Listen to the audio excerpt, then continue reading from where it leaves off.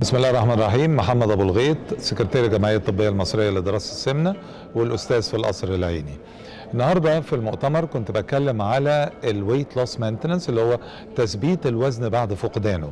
الناس كلها بتيجي عايزة تخس وبتخس بس 80% منهم بيرجعوا تاني اللي خسوه في 20% بس هم اللي بينجحوا في إن هم يثبتوا الوزن الجديد. فكنت بتكلم النهارده على ليه بن بيفشلوا وإزاي نخليهم ينجحوا والطرق الحديثة اللي تتبع للمحافظة على الوزن اللي هو تثبيت الوزن. نمرة واحد الدكتور لازم يقول للمريض إنه التخسيس ما هواش بس الكام شهر الأولانيين. ده حاجة هنبتديها النهاردة ولن تنتهي. علاج يستمر مدى العمر. زي علاج السكر زي علاج الضغط. وانس اننا ابتديناه هنواظب عليه. صحيح مش كله رجيم لكن بعد كده في التثبيت.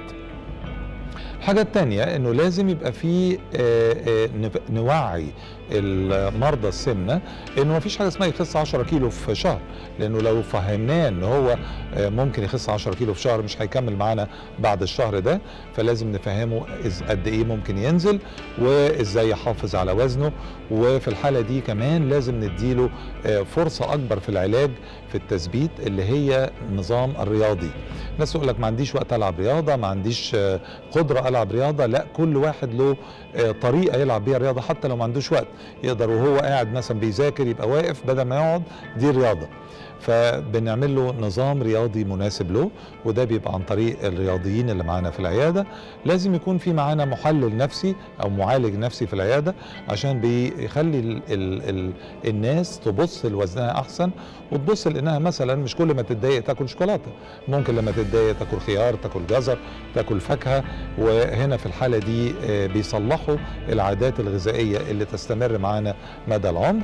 وعايز أقول إن ما عندناش أدوية تتاخد لفترات طويلة كتير هم دوايين بس في مصر. لكن برضو بعض هذه الأدوية أو الدوايين دول بنقدر نديهم لناس كتير عشان نحافظ على الوزن المفقود.